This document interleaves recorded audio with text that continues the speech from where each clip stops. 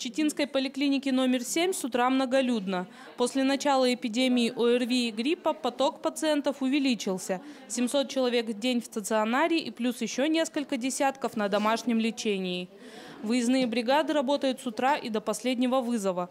Чтобы избежать распространения инфекции еще и в лечебном учреждении, в поликлинике обустроен специальный фильтр поступающих пациентов а контроль читинцев, которые наблюдаются у врачей по другим показаниям, ведут координаторы здоровья по телефону. В связи с повышением заболеваемости по городу, читая по Забайкальскому краю, респираторно-вирусной инфекцией, все поликлинические подразделения клинического медицинского центра переведены на усиленный режим работы.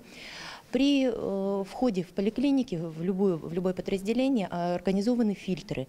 Они организованы для разделения потоков на пациентов, то есть пациенты с признаками катаральными, интоксикации отправляются в развернутые гриппозные отделения, где принимает дежурный врач. При необходимости дежурный врач, естественно, оказывает всю неотложную помощь, назначает лечение, выписывает больничные листы. Пациенты у нас остаются на, чисто на одном кабинете дежурного врача. Более всего риску заболеть подвержены студенты и работающие граждане. А самым надежным способом избежать заражения все так же является своевременная профилактика.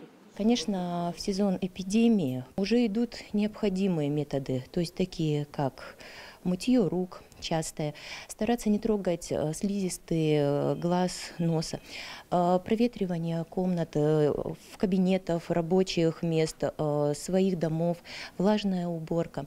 Прием неспецифической профилактики, это противовирусный прием противовирусных препаратов, усилить прием в пищу продуктов, богатых витамином С в первую очередь. Конечно, профилактика – дело не одного дня и не двух дней. Она направлена на повышение защитных сил организма. Это монотонная, длительная работа ежедневно, ежегодно.